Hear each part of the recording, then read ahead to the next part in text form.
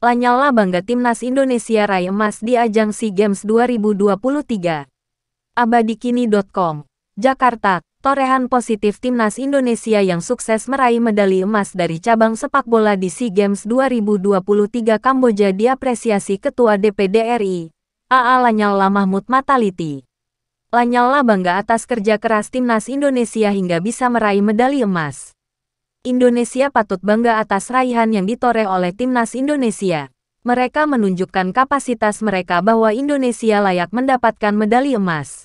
Apalagi medali emas ini adalah penantian selama 32 tahun.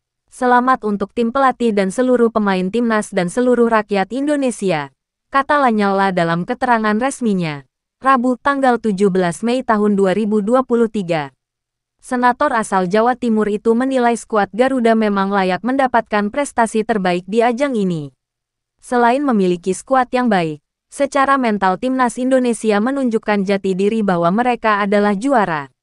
Sejak awal bermain di ajang tersebut, timnas Indonesia telah menunjukkan mental juara. Meski ada selentingan bahwa kita tak diunggulkan meraih medali emas, tapi kita tak gentar. Mereka membuktikannya di atas lapangan. Saya tahu betul ramuan Indra Safri itu terkenal dengan permainan yang tidak pernah patah semangat. Permainan tidak kenal lelah. Kemarin itu dibuktikan di lapangan saat melawan Thailand. Tegas Lanyala. Sekedar informasi.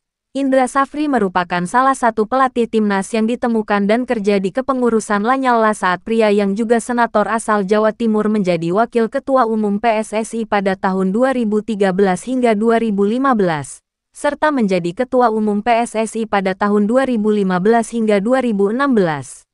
Alhamdulillah saya lihat juga ritual sujud syukur sudah kembali dilakukan di skuad timnas. Saya bangga dan terharu melihatnya. Ujar pria yang juga pernah menjabat Ketua Badan Tim Nasional, BTN.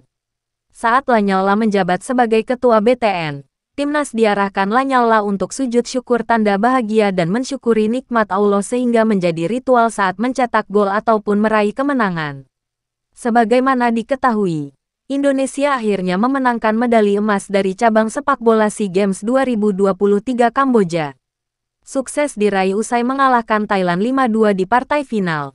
Di final sepak bola SEA Games 2023, Timnas Indonesia U22 mengalahkan Thailand 5-2 di Olympic Stadium, Phnom Penh, Kamboja, Selasa tanggal 16 Mei tahun 2023. Dua gol tim asuhan Indra Syafri diborong Ramadan Sananta di babak pertama. Pada babak kedua, Indonesia sempat kebobolan oleh Thailand lewat aksi Anan Yot Sangwal.